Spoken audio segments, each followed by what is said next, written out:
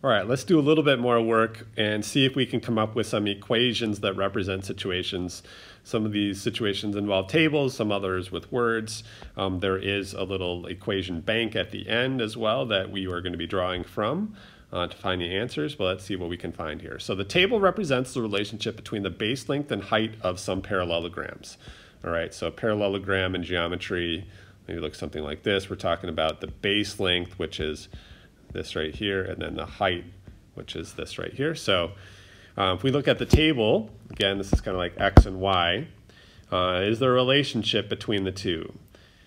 How are the x and y connected? So if you study that for a little bit, you might notice that if we multiply these together, we always get the same thing, all right? 1 times 48 is 48.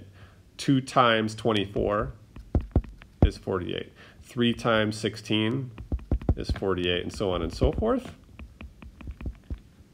So the base length, which is x, times the height, which is y, is equal to 48 in this situation. So it's always equal to 48 for this particular parallelogram. All right, so let's see if we can find the equation that matches up with that. So it should be something like x times y equals 48, all right? So there we go. That's our equation right there. x times y equals 48. All right, number two. Visitors to a carnival are invited to guess the number of beans in a jar. The person who guesses the correct number wins 300 dollars. If multiple people guess correctly, the prize will be divided evenly among them. So $300 is divided evenly among the number of people. Describe the relationship between the number of people who guess correctly and the amount of money each person receives. Okay? So let's think about this. If we have one person, then that person wins 300, right?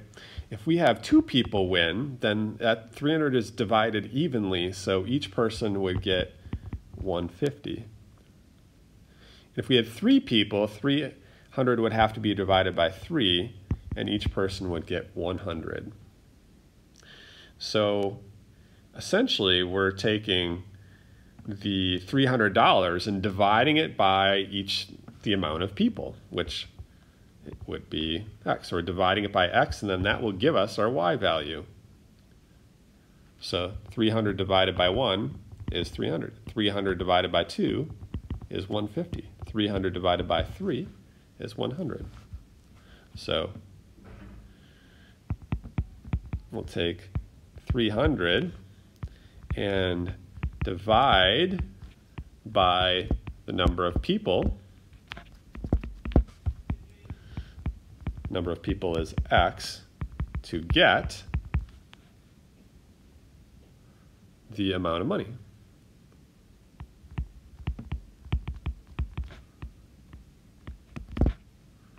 Which would be the y. All right, so 300 divided by x should be equal to the y value. It's like that is that equation. So y equals 300 divided by x.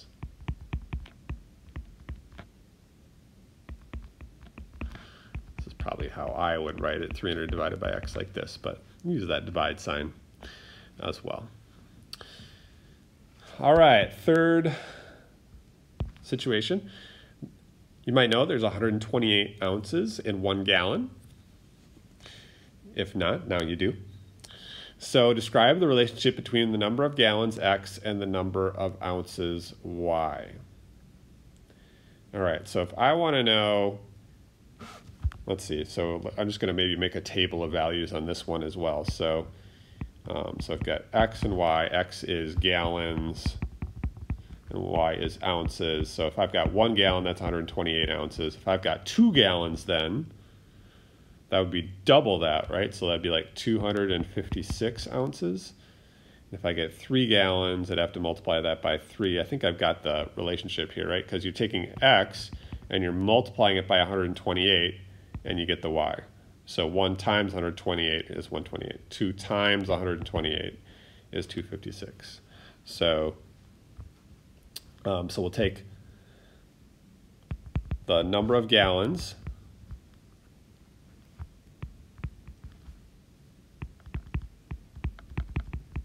which is x, multiplied by 128 is the number of ounces, which is y. So 128 times x is equal to y. All right, so it kind of looks like this one, but actually it's this one, right? 128 times x is equal to y, not 128 times y is equal to x. So let's be careful with that one. y equals 128x. So that would be the relationship that converts from gallons to ounces.